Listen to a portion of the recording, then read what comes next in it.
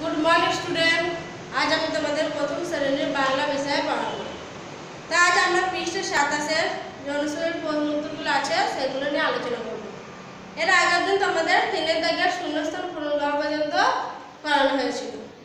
আজ দেখো, চারের দাগের যেগুলো আছে সেখান থেকে বাকিগুলো করা হবে।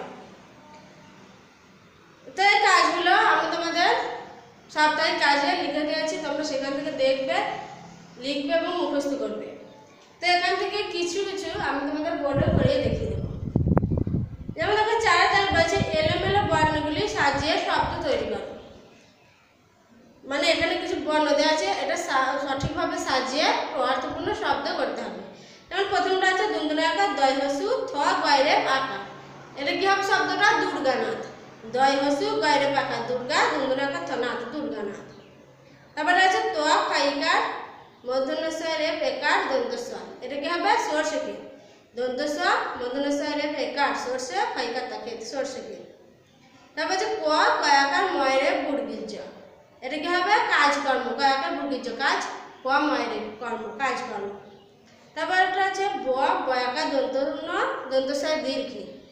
হবে বনবাসী ব দন্ত ন বন বয়াকার দন্তস্বর দীর্ঘি বাসী বনবাসী তারপরে আছে কোয়া হয় হসু মধ্যনয় রেপ লয় হসি এটা কি হবে কর্ণফুলি ক মধ্যনয় রেপ কর্ণ হয়সু লয়সি ফুলি কর্ণফুলি আর শেষেটা আছে র রয়াকার দন্তন্য দয় হসি তয় তয় হসি এটা কি হবে দিন রাত্রি দয়সি দন্তন্য দিন রয়াকার তয় তয় হসি র- রাত্রি এরপর দেখো পাশের দাগে যেটা বলেছে নিচের ছক থেকে শব্দ খুঁজে বার করে লেখো মানে এখানে একটা শখের মতো করা আছে এখান থেকে সঠিকভাবে সাজিয়ে শব্দ তৈরি করতে হবে এটা আমি তোমাদের বোর্ডে করে দেখিয়ে দিচ্ছি তোমরা কীভাবে বলবে দেখো আমার কাছে পাঁচের দাগে নিচের শখ থেকে নিচের শখ থেকে থেকে শব্দ খুঁজে বার করে রেখো। দেখো শর্ত যেমন আছে তোমাদের সেভাবেই করতে হবে প্রথমে চারটে ঘর আছে গ গুর্গিজয় গুনগুন ক এখানে আছে গয়ের কষি এখানটা আছে দয়ের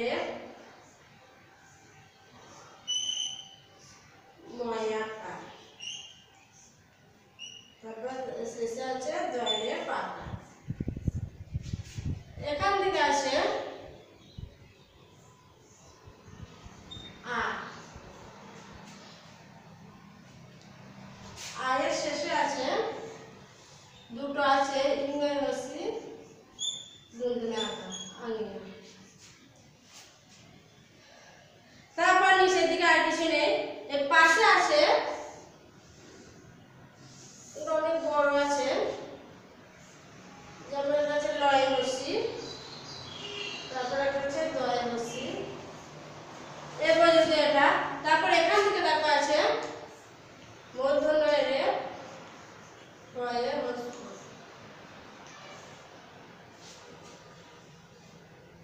এরপর দেখো এই ঘরে একটা ঘর বাদ দিয়ে এখানটা শব্দগুলো আছে সরি অক্ষরগুলো আছে দন্তন্য রয়াকার তয় হসি আর একটা আছে র। এরপর উপরে আছে এখানটা আছে গ এখানটা আছে ধনুষের আকার এখানে আছে তয়সি এখানটা আছে মুখ শেষের দিকে এখানে আছে দুটো ঘর কাটা আছে নয় আকার দুটো সাইজ দেখি আর এর পাশে এখানে একটা জায়গায় আছে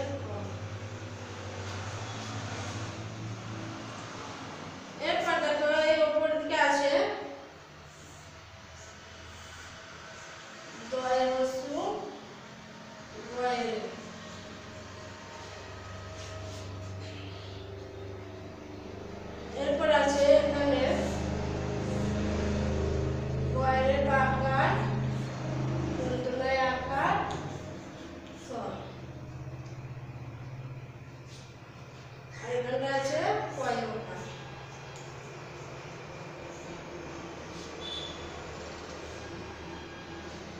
তোমরা আবার শর্ট করে দেখে নাও।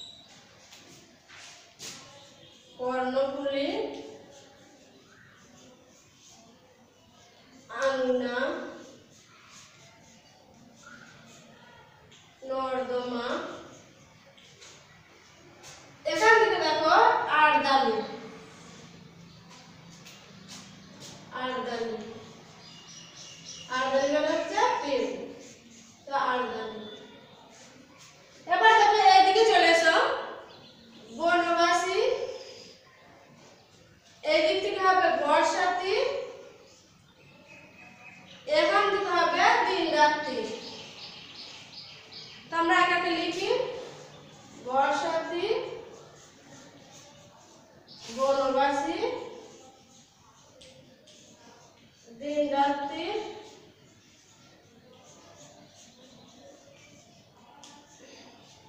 এখানে দেখো একটা হবে বাঘ বয়াকার হ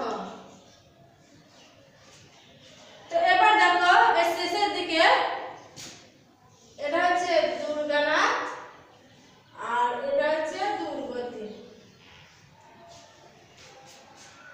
দুর্গতি দুর্গানাথ আর দুর্গতি তো দেখো মোটামুটি একটা দুটো তিনটে চারটে পাঁচটা ছটা সাতটা আটটা নটা দশটা এগারো বারোটা তো মোটামুটি এই ছটা থেকে বারোটা শব্দ পাবে তোমরা ছটা এইভাবে লিখ করবে এবং পাশে শব্দগুলো লিখবে এরপর দেখো সহায়তা যেগুলো করেছে বাঁ দিকের সঙ্গে ডান দিকে বিপরীতার্থ শব্দগুলি মেলা বাঁ দিকে কিছু শব্দ দেওয়া আছে আর ডান দিকে সেই শব্দগুলো বিপরীত অর্থাৎ উল্টো শব্দ দেওয়া আছে সঠিকভাবে মেলাতে হবে। যেমন প্রথমটা হচ্ছে ভয়। ভয়ের বিপরীত হবে সাহস। তারপর বন্যা। বন্যার বিপরীত খরা। তারপর শুকনো। শুকনোর বিপরীত হবে ভিজি। তারপর ঘেসে ঘেসে বিপরীত হচ্ছে তফাতে বন্ধ। বন্ধ বিপরীত খোলা। আর শেষেটা হচ্ছে ভরা। ভরার উল্টো হচ্ছে খালি। এবার দেখো সাথে দেখো বলছে নতুন একটি শব্দ বানাও। নতুন শব্দ বানাও এখানে কিছু অক্ষর দেওয়া আছে। সেই অক্ষরগুলো দিয়ে এটি একটু করে শব্দ করে দেওয়া আছে, আর একটু করে নতুন শব্দ তোমাদের করতে হবে। যেমন প্রথমে আছে অক্ষরটা আছে বয়রে, শব্দটা দেওয়া আছে দুর্গতি। তো এখানে আমরা আর একটা কি শব্দ বলতে পারি? দুর্গ মানে যেটা কেল্লা, দুর্গ বা স্বর্গ, এরকম শব্দ লিখতে পারো। এরপর শেষে তারপর যেটা আছে দয়রে পাকা শব্দটা দেওয়া আছে আটদানি তা আমরা কি বলতে পারি? স্বরদান জলনন্দ যেটা দন্ত দয়রে পাকা র তারপরে আছে বুর্গিজয় এই অক্ষরটাতে শব্দ দেওয়া আছে বর্জন। আমরা বলতে পারি বর্জন ব বুর্গিজয় রেপ দন্ত না বর্জন মানে হচ্ছে ছেড়ে দেওয়া, ত্যাগ দেওয়া, এরকম। তারপর হচ্ছে লয় লয় হসু। এটা দেওয়া আছে ভাল্লু। আমরা আর একটা শব্দ লিখতে পারি উল্লুক হস, লয় লয় হসু, ক। উল্লুক মানে হচ্ছে বোকা বা মুখ তারপর আছে কয়মধনুষয় এটা আছে রাক্ষস। আর একটা শব্দ হতে পারে? শিক্ষক। তার বিষয় শি কয়মধনুষয় ক? শিক্ষক। তারপরে শেষেটা আছে দবে আকার, দা। এটাতে শব্দ দেওয়া আছে দা। এটা কি একটা শব্দ পারে? দ্বাদশ। দবে আকার, দ, তার বিষয় দ্বাদশ কথাটা হচ্ছে? বারো। বারোকে দ্বাদশ বলা। এবারে কাঠের থেকে যেগুলো বলেছে শব্দার্থ লেখো। অর্থ লিখতে বলেছে বর্ষা। বর্ষা মানে হচ্ছে বাদল বা বৃষ্টি। তারপর হচ্ছে চমকানি চমকানি মানে হচ্ছে চমকে ওঠা বা ঝলসে ওঠা। যেমন যখন খুব মেঘ ডাকে বা বৃষ্টি হয়, তখন মাঝে মাঝে বিদ্যুতে চমকারে দেখা যায় ঝরসে ওঠা। তারপর হচ্ছে গরমি গরমি মানে হচ্ছে গরম। পাকে পাকে মানে কাদা, দুর্গতি মানে কষ্ট। আর শেষেটা হচ্ছে বর্ষাতে বর্ষাতে হচ্ছে বৃষ্টির জল আটকানো আর জামা। তারপর নয় দেখা দেখা নিচের প্রশ্ন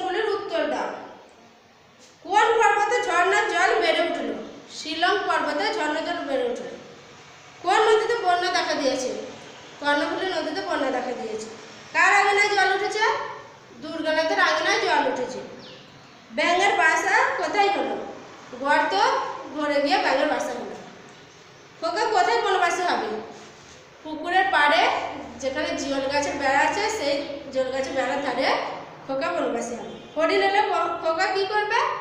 হরিণ এলে খোকা তার গায়ে পিঠে হাত বুলিয়ে দেবে। কারা ঝোপঝাড় থেকে উকি মারবে? রাক্ষসেরা ঝোপঝাড় থেকে উকি মারবে।